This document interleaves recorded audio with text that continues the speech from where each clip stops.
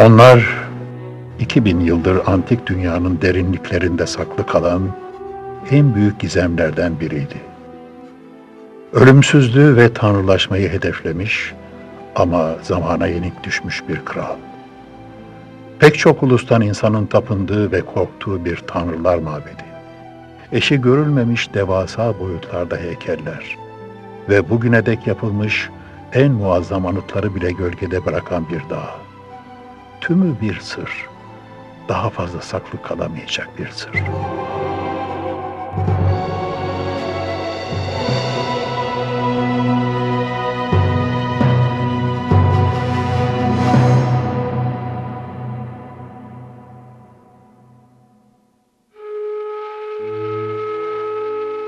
...19. yüzyılın sonları. Sanayinin yaygınlaşmasının getirdiği refah ve uzak diyarlara duyulan merakın artması, yepyeni bir çağın doğuşunu müjdeliyordu. Yeni coğrafyaların keşfiyle birlikte arkeoloji, dünyanın yeni gözdesi olmuştu. Tarihçiler kayıp medeniyetleri ortaya çıkartmanın gururunu yaşarken, bulunan hazineler de zengin destekçilerinin evlerini süslüyordu.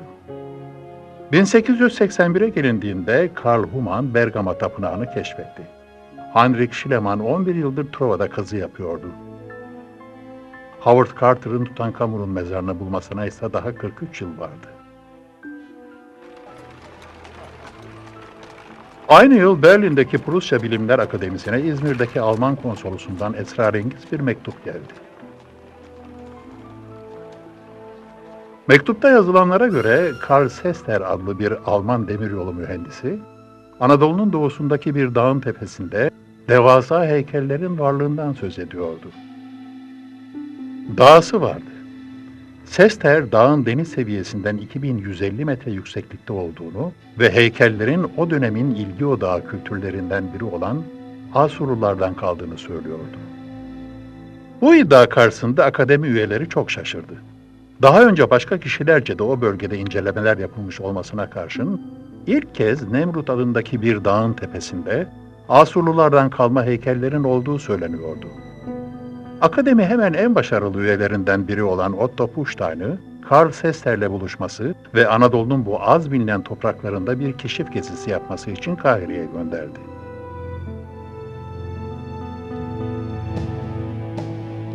Gezginler günümüz Türkiye'sinin güney kıyısına varışlarının ardından dünyadaki en zor yollardan birinde yolculuklarına başladılar. Sarp dağlardan ve engebeli arazilerden geçerek eski doğu ile batı arasındaki doğal sınırı oluşturan efsanevi nehir Fırat boyunca yürüdüler.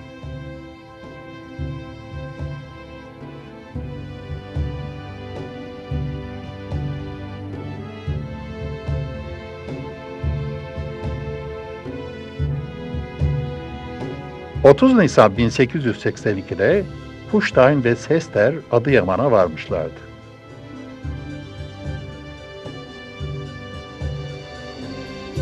Dik yamaçlar ve uçsuz bucaksız sarp vadilerin ardından kaşifler 4 Mayıs 1882'de yani yola çıktıktan ancak iki ay sonra zirveye ulaştılar.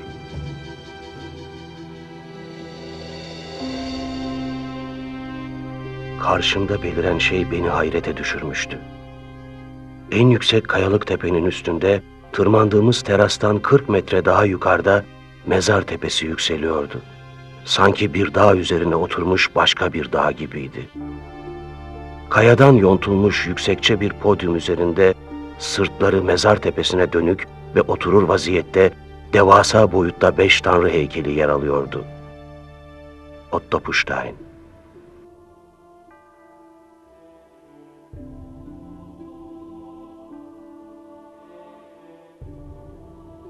Bu devasa heykeller kimlerindi? Yerdeki başlar 2 metreden daha uzundu ve başsız gövdeler 10 metreden daha yüksek görünüyordu.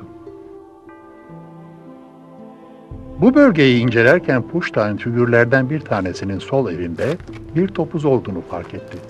Acaba bu Yunan tanrısı Herakles'in bir heykeli olabilir miydi? Pushtayn bu figüre daha yakından bakmaya karar verdi.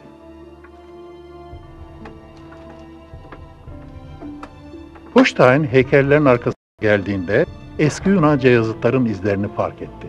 Öyle ki Büyük ihtimalle bunlar diğer heykellerin altına doğru da devam ediyordu. Büyük bir heyecanla taşları temizlemeye başladı. Eski Yunan harfleri ard arda belirmeye başladığında Pushtayn hayatının en büyük sürprizini yaşamak üzereydi.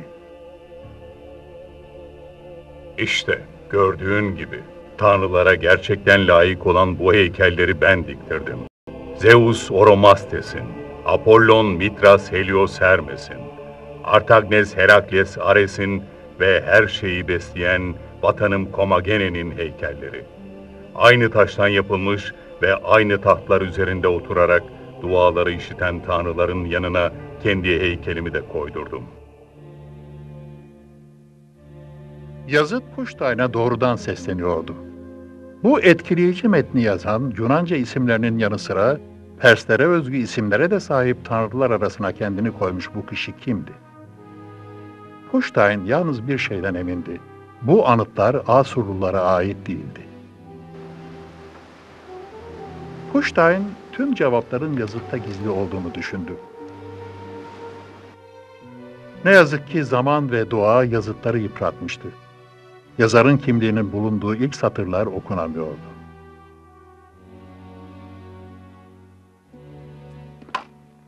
Pushtayn bu gizemi çözmek için çevrede dolaşırken, Tümülüs'ün arkasındaki başka bir terasa çıkan yolu fark etti. Pushtayn Tümülüs'ün etrafından dolaşıp batıdaki terasa geldiğinde batı terasındaki heykellerin ve mimari yapıların doğu terasındakilerle aynı olduğunu görünce hem şaşırmış hem de sevinmişti. Burada hem aynı yazıtı hem de aynı heykelleri görüyoruz. Pushtayn için önemli olan şey yazıtlardı. Batı terasında bulduklarını kullanarak doğu terasındaki yazıtta eksik olanları tamamlayabildi. İki terastaki yazıtları karşılaştırarak her iki yazıttaki eksikleri tamamlayan Pushtayn, bu sayede bir ipucu daha bulmuştu. Pers ülkesinin, Makedonya'nın ve kendi ülkemiz Komagene'nin bütün tanrıları çocuklarını ve torunlarını kutsamaya devam edecekler. Bu metni yazan büyük bir ihtimalle hem Makedonyalıların hem de Perslerin varisi olduğunu iddia eden ve tarihte az bilinen Komagene hanedanının üyesi olan bir kraldı. Ama hangi kraldı? Sabrı tükenmeye başlayan Pushtayn, aynı gece nihayet gerekli satırların çevirilerini yapmayı başardı. Muzaffer Büyük Kral Antiochos. Adil ve göze görünür tanrı. Roma ve Helen dostu.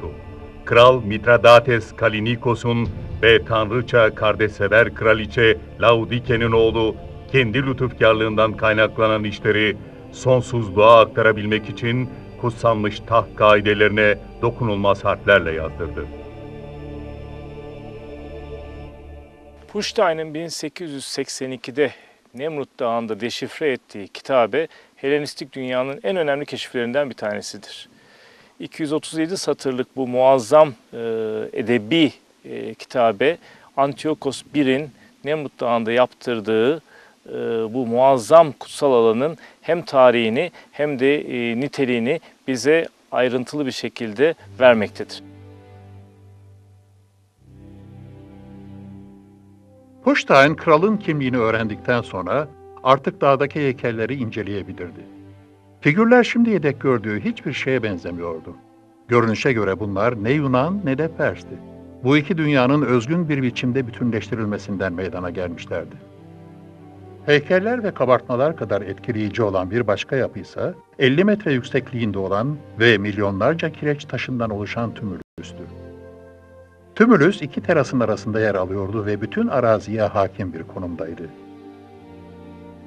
Pushtayn bunun dünya üzerinde bilinen en yüksek tümülüs olduğunu fark etti. Burada buldukları beklentilerinin çok ötesindeydi. Nemrut Dağı'nın keşfi ve buradaki kalıplar üzerinde yapılan çalışmalar sayesinde bu bölgenin tarihiyle ilgili büyük bir boşluk giderilmiştir. Öyle ki Pers İmparatorluğu hakkında pek çok şey biliyoruz. Eski Yunan Roma İmparatorluğu ve Ermenistan hakkında da pek çok şey biliyoruz.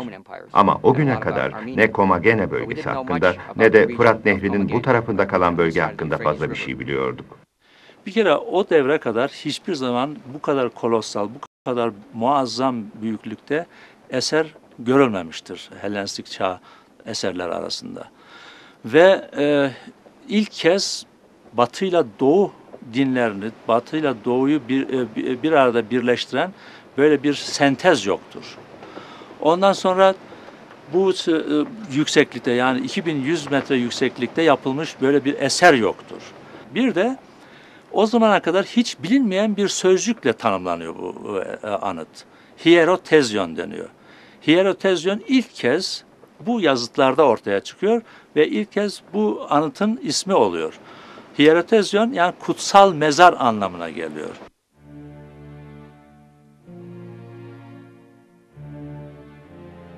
Puştayn dönüş yolculuğundan önce yazıtı bir kez daha incelediğinde Antiyokos'un ona bir sürprizi daha olduğunu gördü.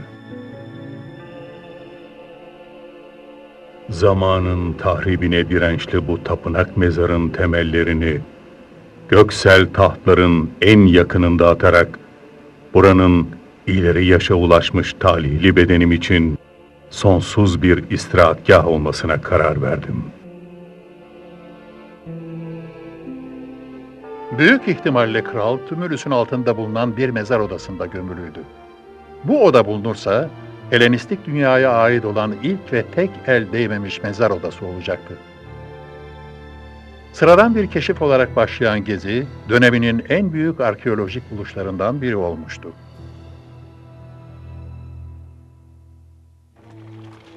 Kuştayn'ın raporu Berlin Akademisi tarafından büyük bir heyecanla karşılandı. Hemen 1883'te bu bölgeye yapılacak ikinci bir keşif gezisi için izin çıkardılar. Bu kez ekibe daha deneyimli olan Karl Humann liderlik edecekti. Aynı yıl İstanbul Arkeoloji Müzesi'nin müdürü Osman Hamdi Bey de kendi keşif gezisini düzenledi. Nemrut Dağı 2000 yıl aradan sonra birdenbire hem doğunun hem de batının ani ilgisini kazanmıştı.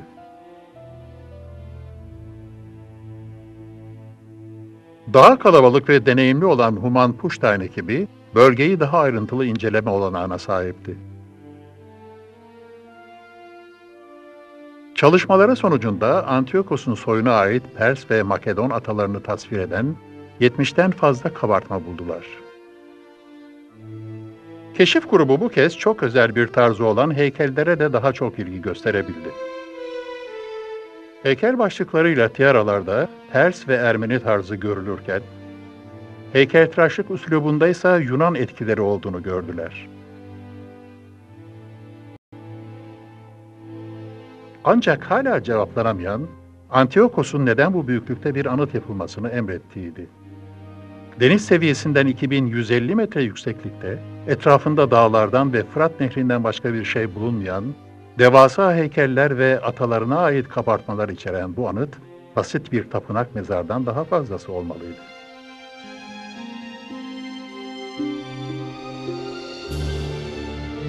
Ne yazık ki şiddetli fırtınalar, günün dayanılmaz sıcağı ve gecenin dondurucu soğuğu, keşif ekibinin daha fazla inceleme yapmasını engelledi. Diğer sırların çözümü gelecekte yapılacak yeni kazılara kaldı. Dağın karmaşık konumu ve heykellerin dağınıklığı, araştırmacıların karşılarında gördüklerini anlamalarını daha da zorlaştırdı. Mekanın boyutlarını tam olarak hesaplayamamış ve yazıtların çoğunu okuyamamışlardı. Heykelleri de tam olarak anlamlandıramamışlardı. İstanbul'dan gelen Osman Hamdi Bey gibi Puştayn ve Human'da kitaplarında buldukları pek çok şeye karşın anıtın etkileyici yerel bir üründen başka bir şey olmadığını belirttiler. Bu nedenle arkeoloji dünyası Nemrut Dağı'ndaki buluntuları sadece megaloman bir kralın kendini yüceltmek için yaptırdığı gösterişli bir anıt olarak algıladı. Bu yüzden 2000 yıl sonra yakalanmış olan bu uyanış şansı bir kez daha yerini derin bir uykuya bıraktı. Ta ki New Yorklu bir kadın arkeolog, Nemrut Dağı hakkında daha söylenecek çok şey olduğuna karar verene kadar.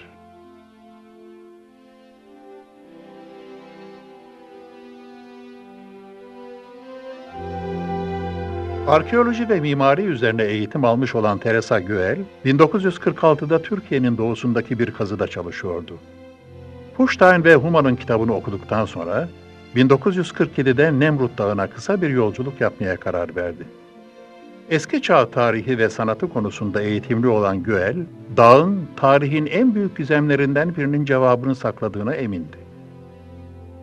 Milattan önce 8. yüzyılda birdenbire tarihi kayıtlardan kaybolan Hititlere ne olmuştu? Teresa Göel sorusunun cevabını mutlaka bu bölgede bulacağına inanıyordu. Yerel halkın bir kadının tek başına Nemrut Dağı'na tırmanmasının çok tehlikeli olacağına dair uyarıları bile fikrini değiştirmeyi başaramadı. 1947 yılının Temmuz ayında Teresa Göel, Nemrut Dağı'nın tepesindeydi. Nemrut Dağı'nı ve onun üzerindeki Antiyokos Tapınağı'nı görünce güzelliği ve görkemi karşısında dona kaldım. Buradaki araştırmaların hayat boyu sürecek bir çalışma olduğunu anladım. Gerçekten de öyle oldu. 1953 yılında 52 yaşındaki Teresa Göel, işitme yeteneğini hızla yitirmesine rağmen Amerikan Doğu Araştırma Okulu'nun sponsorluğunda Türkiye'nin doğusunda bir kazıya liderlik eden ilk kadın arkeolog oldu.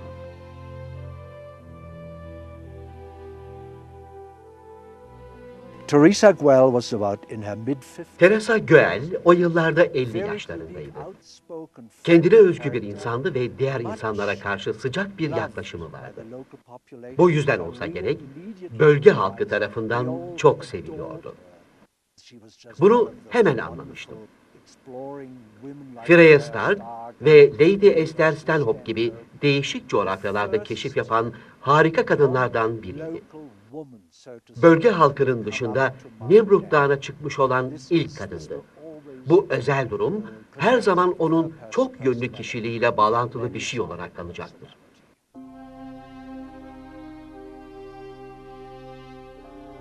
Teresa Göel'le birlikte çalışan Alman Friedrich Karl Dörner, saygın bir epigraf ve arkeologtu. Ortaklıklarından iki yıl önce Dörner, Antiochos'un babası Mitradates Kalinikus'un Kahta çayı üzerindeki Arsamea'da bulunan mezar anıtını keşfetmişti.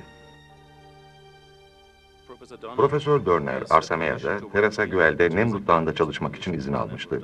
Sonunda birlikte kazı yapmaya başladılar. Bence birlikte kazı yapma fikri ikisi için de iyi bir karardı. Çünkü Teresa Güel bir mimardı. Profesör Dörner ise bir epigraf ve eski çağ tarihçisiydi. Güel ona burada mimari konularda yardım etmişti. Profesör Dörner de Teresa Güel'e Nemrut Dağı'nın tepesindeki yazıtlarda yardım etti. Ekip hiç vakit kaybetmeden sonuçlar almaya başladı. İlk buluntu doğu terasındaki kireç taşı yığınının altında gömülü olan Antiochos kafasıydı. Bunu Antiochos'un tanrılar tarafından karşılanışını betimleyen batı terasındaki kabartmalar izledi. Bu arada Dörner eski Yunanca yazıtları bir araya getirmekle ve onların çevirilerini yapmakla uğraşıyordu. Genellikle kalıntıları bir araya getirip onarmak çok yorucu oluyordu.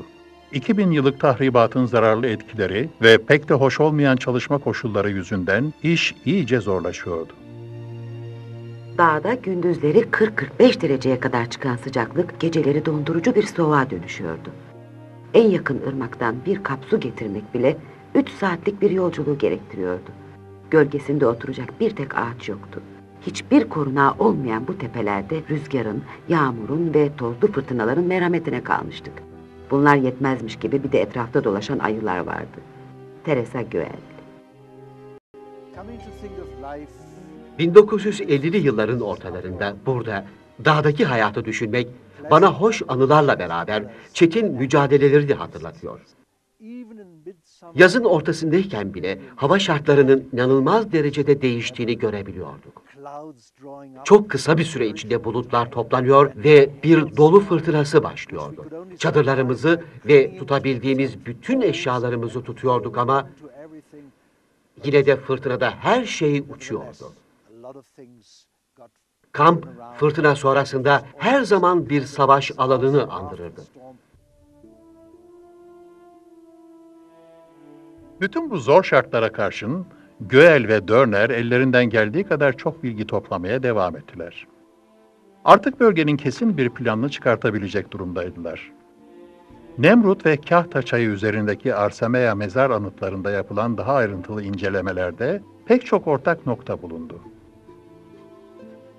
Çift platform, basamaklar, tanrı kabartmaları ve Küçük Asya'daki en uzun iki eski Yunanca yazıt gibi.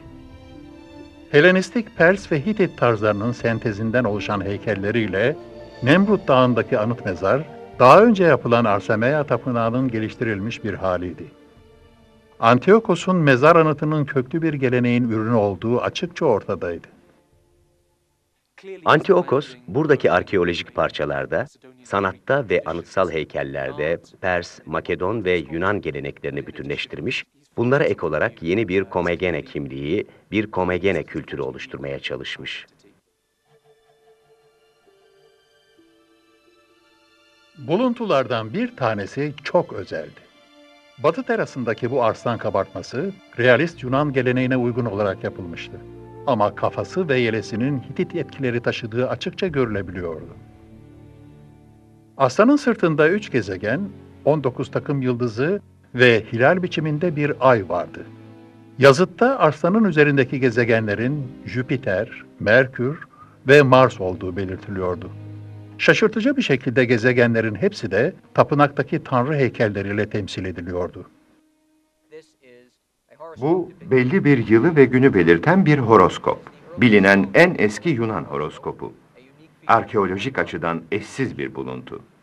Bütün verileri bir araya getirdiğimizde bize milattan önce 1. yüzyıldaki bir tarihi verir. Dünyadaki en eski horoskoplardan biri olan aslan kabartması, daha fazla araştırmaya layık bir buluntuydu. 1955'te aslanın sırtındaki yıldızlarla ilgili yapılan araştırmalar sonucunda yıldız dizilinin milattan önce 7 Temmuz 62 tarihini simgelediği bulundu. Bu tarihin neyi belirttiğine dair tartışmalar bugün hala devam etmektedir. Milattan önce 62 tarihi Antiochos'un hayatındaki pek çok olayla çakışabilir. O tarihlerde Romalılarla barış yaptığını biliyoruz. O yüzden bu taş Antiochos'un tahta çıktığı ya da Romalıların gözünde resmi olarak kral olduğu tarihi gösteriyor olabilir. Aynı zamanda Nemrut Dağı Tapınağı'nın ne sürede yapıldığını göz önünde bulundurursak, bu taş tapınağın yapımına başlanılan günü de temsil ediyor olabilir. Kesin olan bir şey vardı. 1883'te sadece etkileyici yerel bir ürün olarak adlandırılan şey, sanatta, dinde ve mimaride Hitit etkilerini taşıyan, Doğu ile Batı'nın uyumunu temsil eden çok önemli bir anıt haline gelmişti. Artık şu biliniyordu. Büyük Hitit İmparatorluğu kısmen de olsa Nemrut Dağı'ndaki anıtlarda yaşıyordu.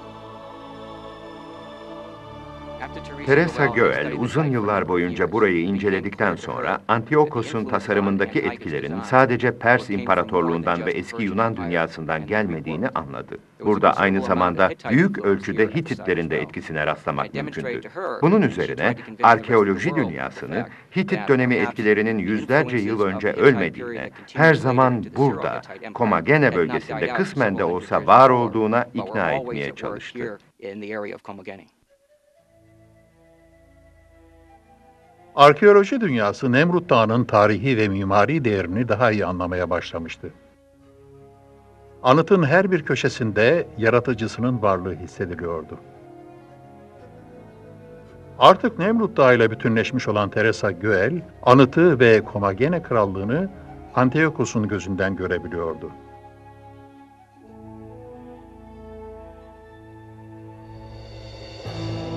Ata hükümdarlığını devraldığım zaman, dindarlığım nedeniyle tahtıma bağlı krallığı tüm tanrıların ortak yurdu yaptım. Onları kendi soyumun talihli köklerinin geldiği Pers ve Helenlerin eski usullerine göre çeşitli biçimlerde tasvir ettim.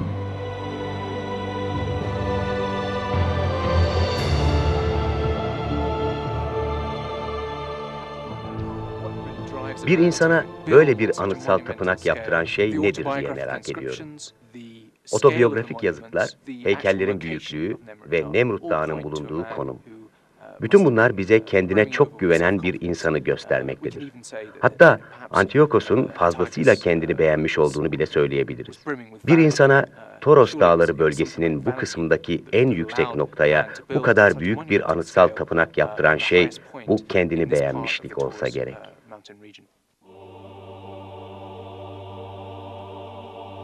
Teresa Güer ve Dörner'i Nemrut Dağı'ndaki öncü çalışmaları sayesinde Antiyokos ve Komagene hanedanlığı tarihin sisleri arasından çıkmaya hazırdı.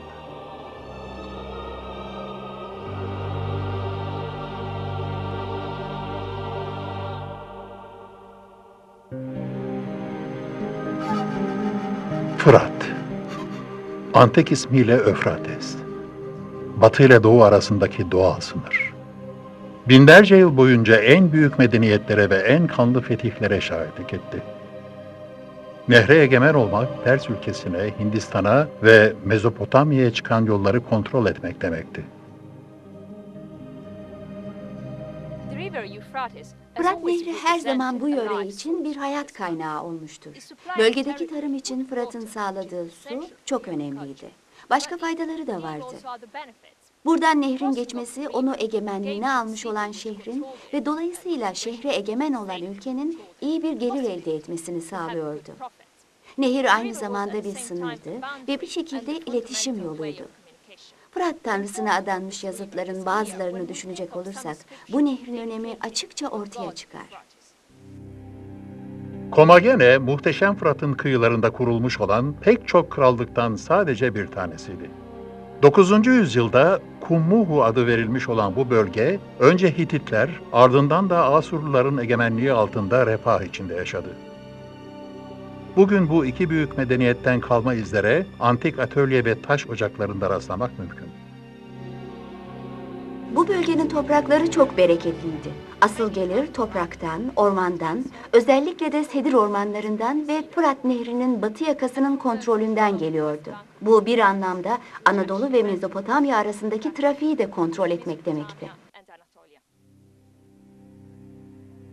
Milattan önce 3. yüzyılda Büyük İskender Doğu-Batı sentezine dayalı bir imparatorluk hayal etmişti.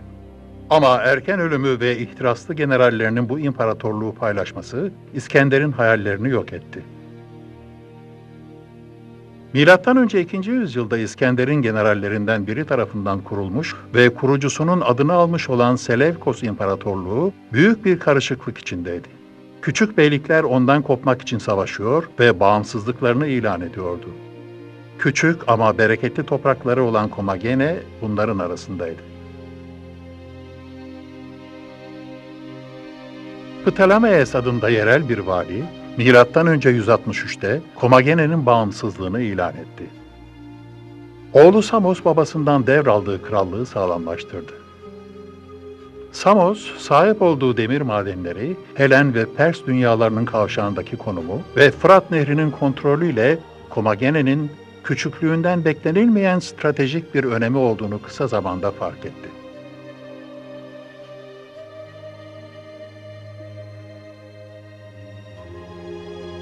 Farklı kökenleri olan halkını birleştirmek için Samos, Pers ve Yunan sentezine girişti.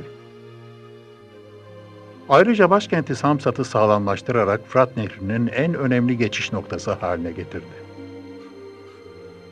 Onun başarıları ve mirası, gömüldüğü sanılan Gerger'deki 5 metrelik kaya kabartmasında hala yaşamaktadır.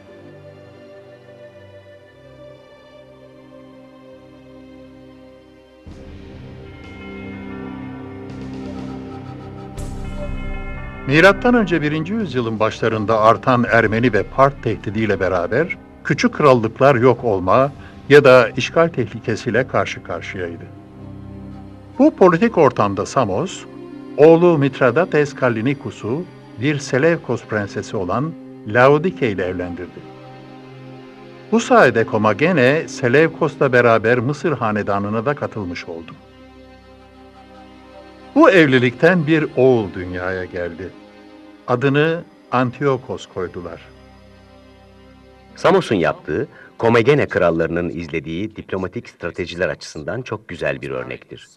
Samos, oğlu Mitradates'i 8. Antiyokos'un kızı olan Laodike ile evlendirdi. Bu evlilik sayesinde Selevkosların prestijini kendi krallığınınkine eklemiş oldu. Bu prestij 4. yüzyıla, Büyük İskender'in günlerine kadar uzanıyordu. İskender'in itibarı artık Komegene krallarına da geçmişti. Ne yazık ki devler arasında var olabilmek için itibar yeterli değildi. Ermeni ve Part tehlikelerine doğuya doğru hızla yayılmakta olan Roma İmparatorluğu da eklenmişti. Bu üç güç arasında Doğu Anadolu toprakları için amansız bir mücadele başladı. Fırat üzerindeki stratejik geçiş noktaları yüzünden Komagene, yeni ve çetin bir düşmanla karşı karşıya kalmak üzereydi. Bu, Ermeni kralı Büyük Tigran'dı.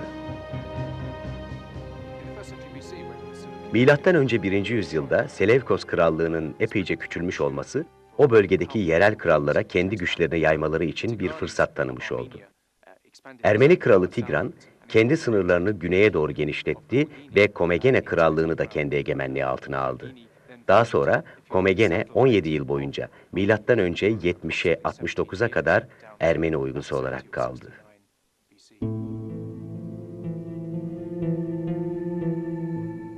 Bütün bu karışıklıklar sırasında milattan önce 70 civarında Nemrut Dağı'nın eteklerinde hem Komagene hem de Küçük Asya için yeni bir dönemi başlatan bir gelişme oldu.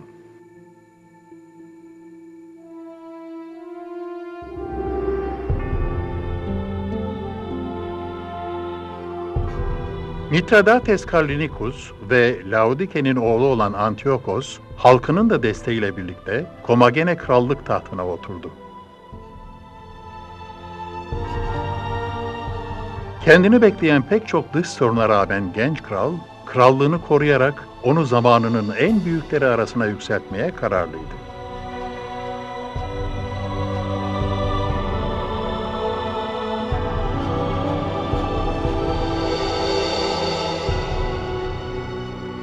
Antiochus is the most well-known king. Antiochos, Komagene'nin en çok tanınan kralıdır. O, Pers kralı Büyük Darius'la Makedonyalı Büyük İskender'in soyundan geldiğini iddia ediyordu. Yeni bir dinin ve kültürün yaratıcısıydı. Kendisi, babası ve Pers'le eski Yunan kültürleri arasında doğmuş olan bazı tanrılar için bir kült başlattı.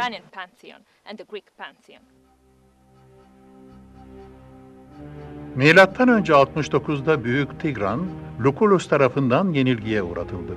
Fakat Roma ve Part tehdidi hala devam ediyordu. Partlar Komagene'yi batıya açılan bir geçit olarak görüyor, Romalılarsa doğuya geçmek için bir basamak olarak kullanmak istiyordu. Romalı General Pompey doğuya doğru ilerlerken Antiochos Roma'nın güvenini kazanmayı başardı ve önce 62'de Fırat'taki Zöykma şehriyle ödüllendirildi. Bu tarihin onun hayatını değiştirdiğini söyleyebiliriz. Çünkü Zögma'daki ticaret yollarından kazandığı para olmasa, Komageneli Antiochos, Nemrut Dağı ve Arsamea gibi yerleri ve oradaki muhteşem heykellerle yazıtları yaptırmayı asla başaramazdı.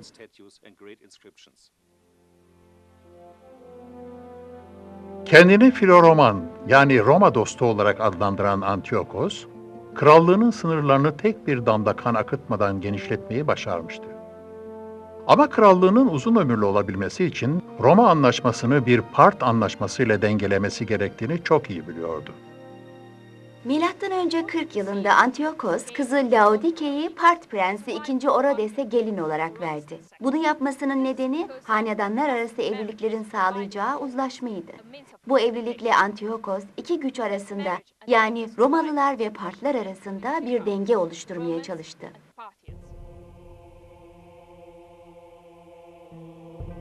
Antiochos'un becerikli diplomasisiyle Komagene milattan önce 62 ve 36 yılları arasında barışın ve refahın tadını çıkardı. Bu dönemde Antiochos şehirlerin imarına ve tarihte eşine az rastlanacak anıtların inşasına başladı.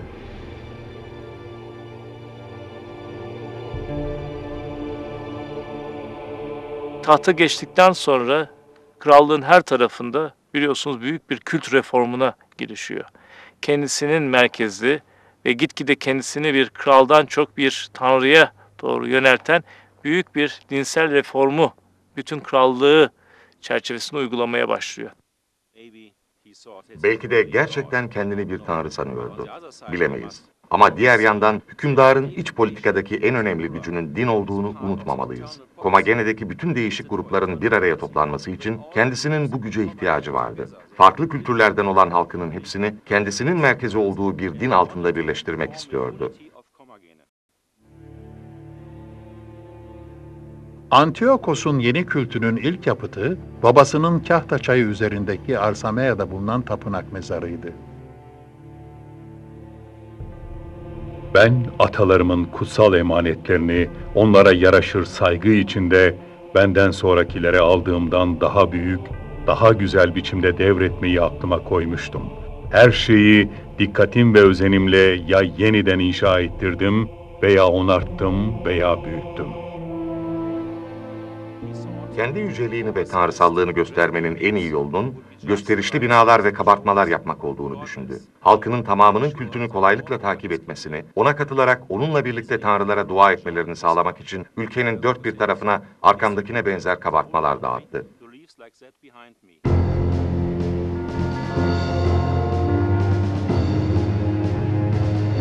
Barış dönemi Part tahtının varisi, Antiyokos'un damadının oğlu olan Pakorus'un Fırat'ı geçip Roma topraklarına saldırmasıyla bozuldu.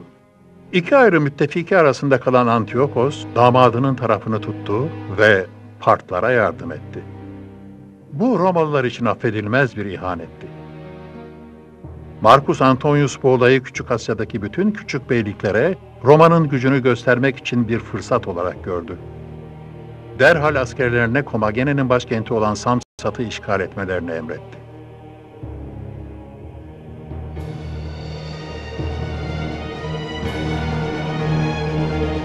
Birdenbire Antiyokos ve Küçük Krallığı dünyanın en güçlü imparatorluğuyla karşı karşıya kalmıştı.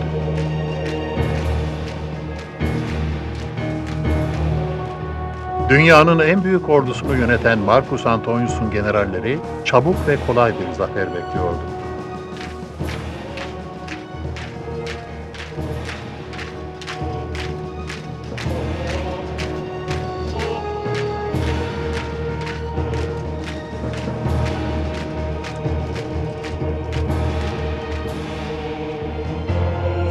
Ama çok iyi korunan Samsat Kalesi'ne çekilen Antiyokos ve yetenekli okçuları Romalılara karşı koymak için hazırdılar. Marcus Antonius'un askerleri saldırınca Komageneliler Romalıları ok yağmuruna tuttu.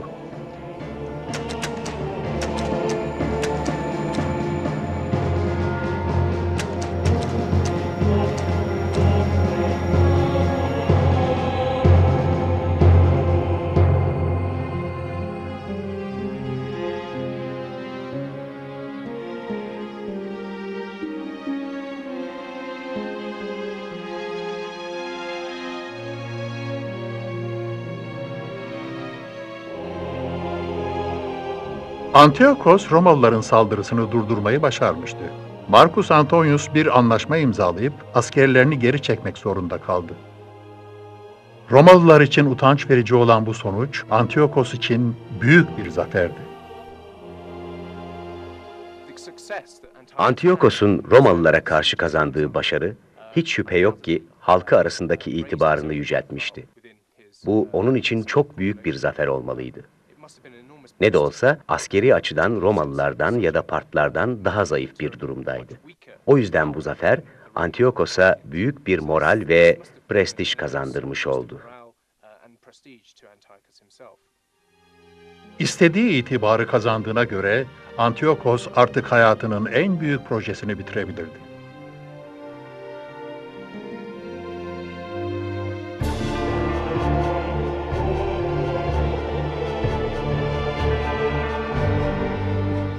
Anıt mezarı başarısının göstergesi olduğu kadar halkı için de bir hac yeri olacaktı. Burada onu ve tanrıları sonsuza dek onurlandıracaklardı. Antiyokos tarihteki yerini sağlamlaştırmak ve ölümsüz olmak istiyordu. Nemrut Dağı'nda yaptırdığı anıt mezar kendini hayattayken bile bir tanrı olarak göstermesi ve öldükten sonra halkının kendisi için senede iki kez tören düzenlemesini emretmesi hep bu amaç içindir. Bu ona hem halkının gözünde hem diğer kralların gözünde hem de tanrılar katında ölümsüzlük kazandıracaktı. Antiyokos, ölümsüzlük uğruna insanlık tarihinin en büyük inşa projelerinden birine başladı.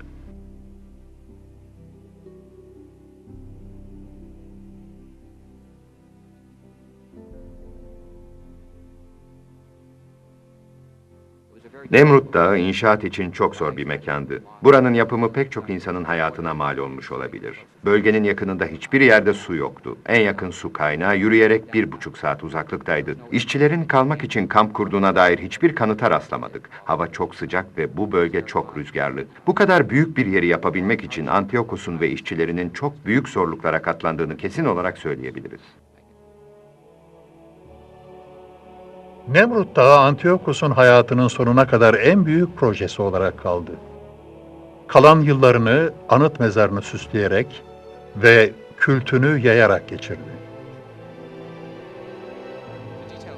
Antiyokos'un ölümü de büyük bir gizem aslında. Kaynaklardan milattan önce 32'de Komagene tahtına yeni bir kralın geçtiğini biliyoruz. Bu belli ki Antiyokos'un oğlu 2. Mitradates'ti. Yani 38 ve 32 yılları arasındaki bir tarihte Antiyokos öldü. Suikaste uğramış olma ihtimali var. Yatağında huzur içinde ölmüş olması da mümkün. Antiyokos'un oğlu 2. Mitradates, annesiyle kız kardeşinin gömülü olduğu Karakuş ve kendi mezarı olan ses ön kanıtlarını yaptırdı. Bunlar Antiyokos tarafından başlatılmış ve yüceltilmiş olan kült merkezlerinin son örnekleridir. Ne yazık ki ikisi de daha antik dönemde yağmalanmıştır. Komagene hanedanlığı Antiyokos'tan sonra bir yüzyıl daha devam etti. Ama Romalıların şüpheci bakışları altında ondan sonra gelenler, Antiyokos'un kültünü yaymakta ve onun ideallerini devam ettirmekte zorlandı. Milattan sonra 72'de Roma İmparatoru Vespasyan, Komagene'yi Suriye'nin topraklarına kattı ve adını Örfatasya olarak değiştirdi. Komagene Krallığı 230 yıl dayanabilmişti.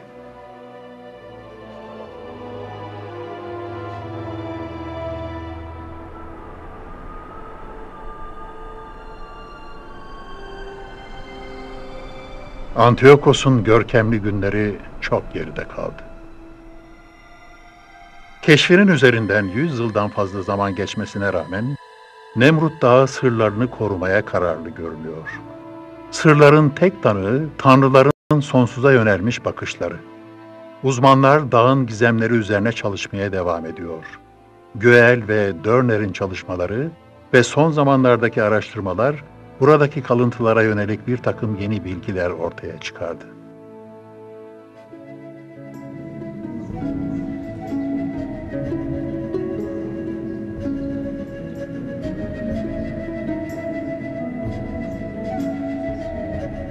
Bazı tarihçiler anıt mezarın hiçbir zaman tamamlanamadığı ve Antiyokos'un öngördüğü muazzam ayinlerin onu izleyenler tarafından asla yapılmadığı konusunda ısrarlı.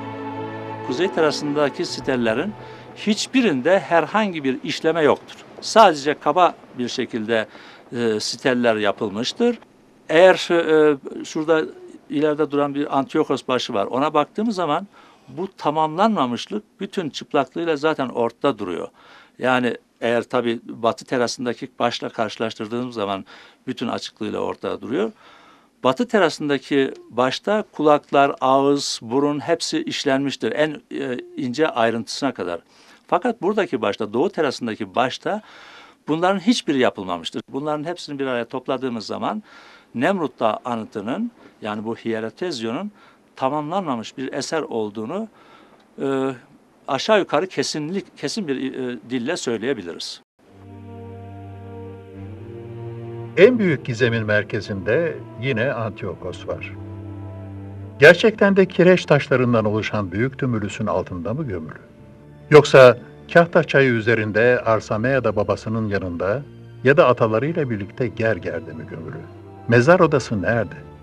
Bu sorular Puştayn ve Teresa Göel'den beri arkeologların zihnini meşgul ediyor. Yüz yılı aşkın bir süredir hem arkeologlar hem de mezar hırsızları Antiyokos'un mezarını arıyor. Ve eğer bulunursa büyük ihtimalle bu mezar bir hükümdara ait olan ve Helenistik dönemden kalan el değmemiş ilk ve tek mezar olacak. Bu durum onun önemini daha da arttırmakta ve Kral Tutankamon'un mezarı kadar değerli kılmakta. 1954 ve 1961 yılları arasında Teresa Göel kazılar düzenleyerek mezarı Nemrut'ta ararken, Dörner'de Arsamea'da bulmaya çalışmıştı. Ancak gelişmiş araç gereçlerden yoksun oldukları için bu çalışmalar tümülüsün ve heykellerin dış yüzeyine zarar vermekten başka hiçbir işe yaramadı. Antiyokos'un nerede gömülü olduğunu bilmiyoruz. Büyük olasılıkla burada değil. Buraya gömüldüğüne dair hiçbir kanıt yok. Teresa Göel, onun buraya gömülüp gömülmediğini anlamak için yıllarca dağın etrafında kazılar yaptı. Hepsi de başarısızlıkla sonuçlandı. Tümülüsün içine, tabanına, bazıları heykellerin arkasından başlayan tüneller kazarak mezar odasını bulmaya çalıştı. Ama buralarda hiçbir şey bulamadı.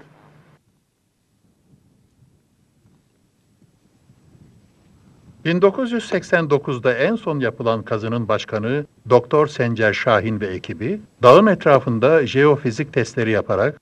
...mezar odasını bulmaya çalıştı. Testler tümülüsün içinde üç boşluk olduğu sonucunu verdi.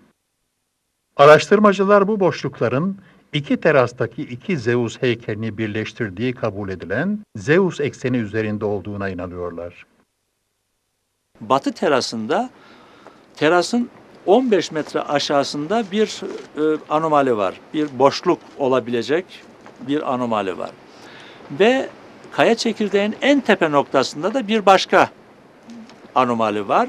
O tepe noktasındaki anomalinin gerçek Antiyokos'un mezar e, odası olması, hemen onun altındaki anomalinin ise bir sarnıç olması ihtimali var. Bu boşlukların tam olarak ne olduğu ancak ileride yapılacak testlerle ortaya çıkarılabilir.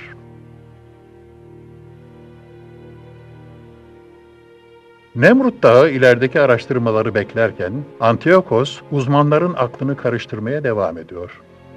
Ne yazık ki doğanın ve insanoğlunun zarar veren elleri bu gizemlerin çözülmesinde yardımcı olabilecek ipuçlarının çoğunu yok etti.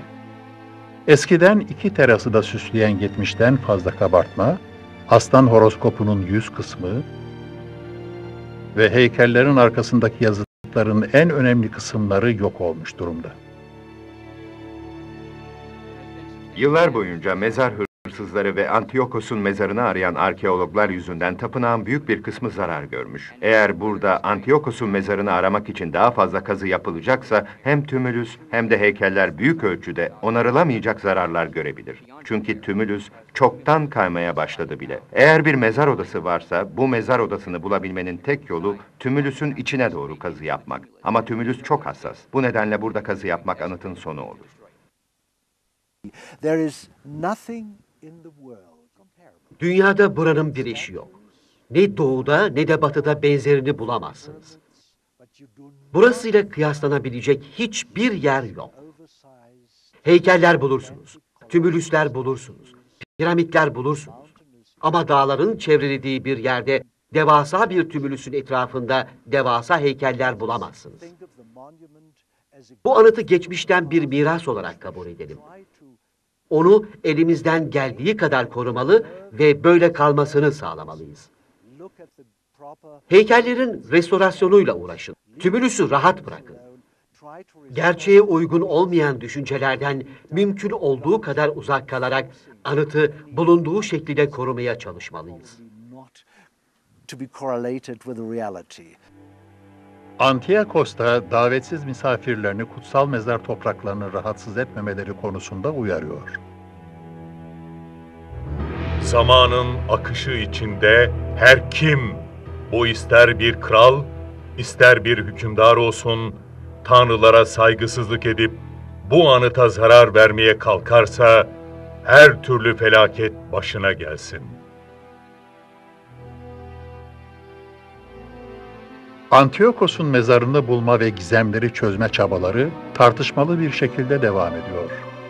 Uzmanlar Antiyokos'un mezarının bulunmasının Mısır'da bulunan Tutankamon'un mezarının açılmasından beri en büyük arkeolojik keşif olacağına inanıyorlar.